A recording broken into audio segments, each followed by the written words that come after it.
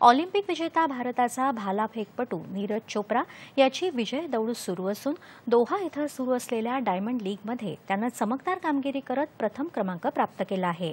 त्यानं पहिल्याच प्रयत्नात अठ्ठ्याऐंशी पूर्णांक सदुसष्ट मीटर भाला फेकून पहिलं स्थान पटकावलं. या लीगमध्ये पहिलं स्थान मिळवणारा नीरज हा पहिला भारतीय खेळाडू आहे. केंद्रीय क्रीडा मंत्री अनुराग ठाकूर यांनी नीरजचं अभिनंदन केलं आहे. नीरजनं दोहा डायमंड लीगमध्ये प्रभाव पाडत भारताचं नाव उज्ज्वल केलं आहे. भारताला त्याचा अभिमान आहे असं ट्विट ठाकूर यांनी केलं आहे.